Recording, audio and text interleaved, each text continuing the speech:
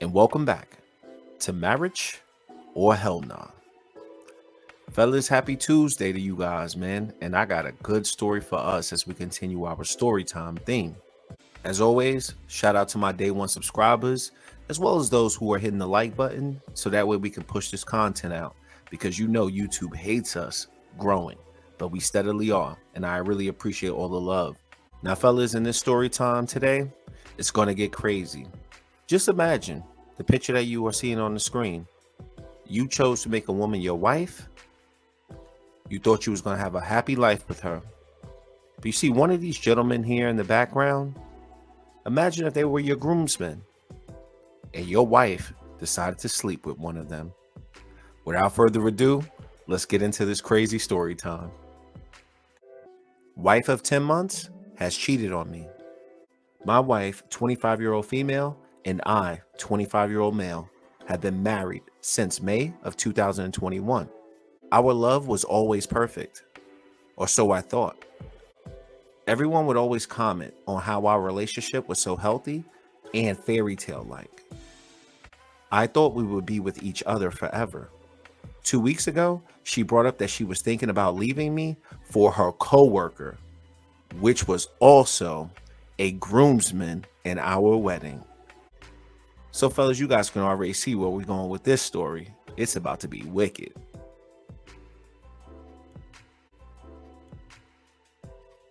Because they have been talking and hanging out. She told him that she had a crush on him and he returned the feelings. That's a shady dude right there. She told me she was willing to try and work on our relationship.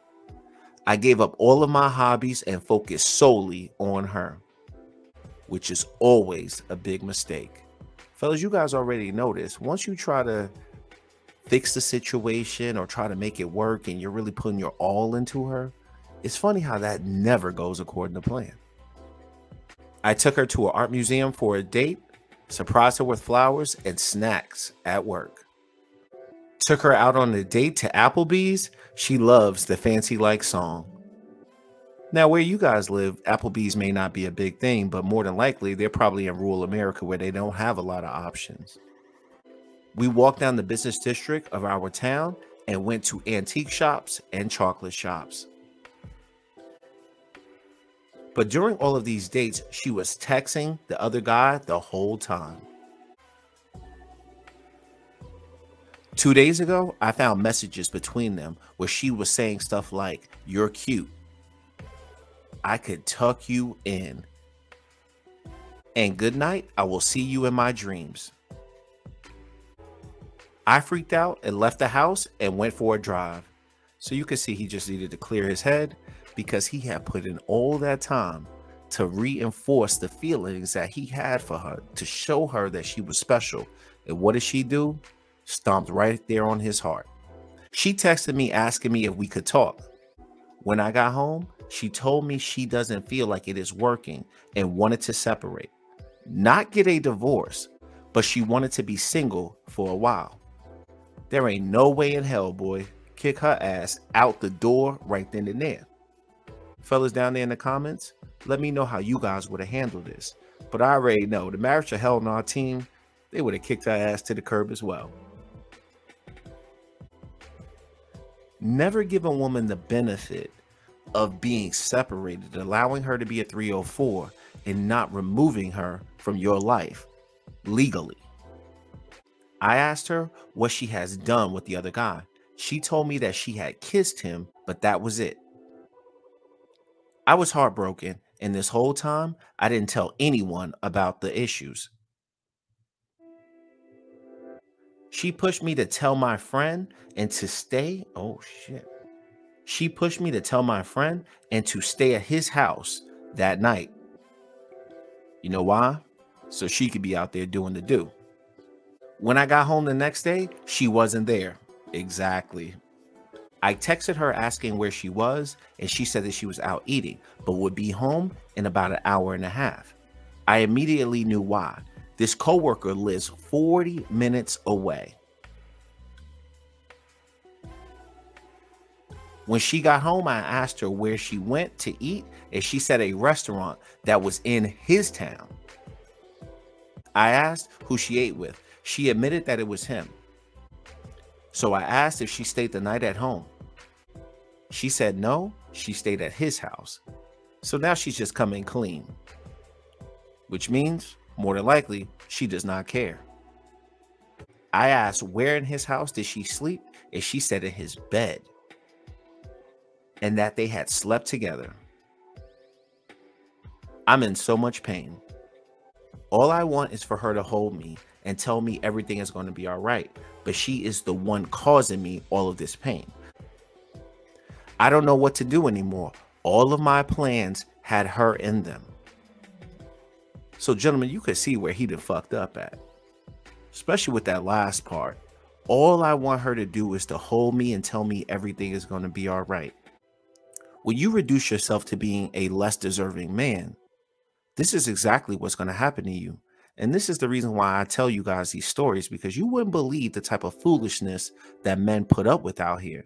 But it's important that we learn these lessons so that way guys can know up front not to put up with any type of foolishness. But as you guys already know, let's get into some of these comments and see what other people got to say chiming into the situation. If this guy wasn't a friend of yours, why is he a groomsman in your wedding? Sorry, brother, but you guys should be in the honeymoon stage. If she's screwing another guy, put her back on the streets. You're better than this. Exactly. Now, the point I want to chime in about is definitely with the groomsmen. Believe it or not, you got a lot of shady guys out here that would do stuff like this.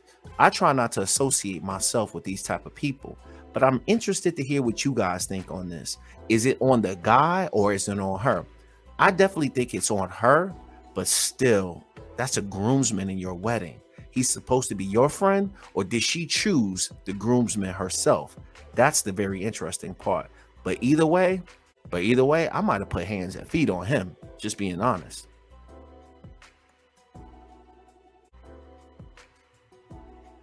Another person chimes in. It's over, dude. She failed the wife test.